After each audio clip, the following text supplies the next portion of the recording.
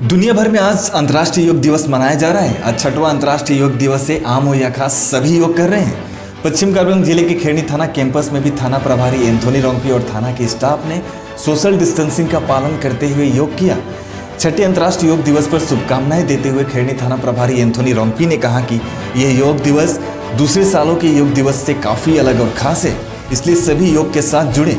Covid उन्नीस virus खासतौर पर हमारे श्वसन तंत्र पर हमला करता है और इसलिए इन दिनों हमें श्वसन तंत्र को मज़बूत करना है। इसलिए घर पर रहें और अपनी फैमिली के साथ योग से जुड़े। इसके लिए हमें प्राणायाम में से सबसे ज़्यादा मदद मिलती है।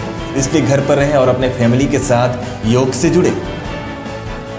थाना कैंपस में योग शिक्षक योगराज पाठक और उनके सहयोगी राजेश यादव ने सभी को योग करवाया। News desk report Assam headlines news.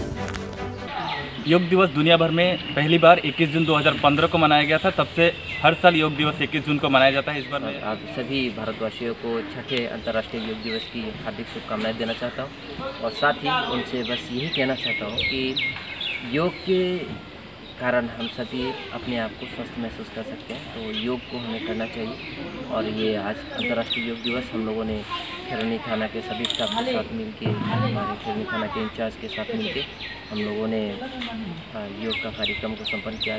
छठा योग दिवस को हमने मनाया। और साथ ही कुछ हम लोगों ने प्राणायाम किए, एक्सरसाइज वगैरह की तो इस प्रकार से हम लोगों ने अपना योग दिवस आज सेलिब्रेट किया।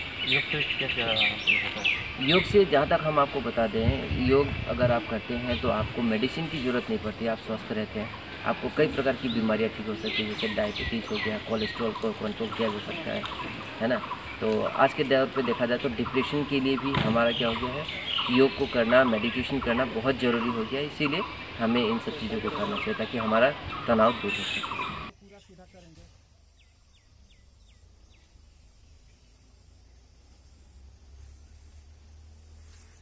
इस आसन को शीर्षासन कहते हैं।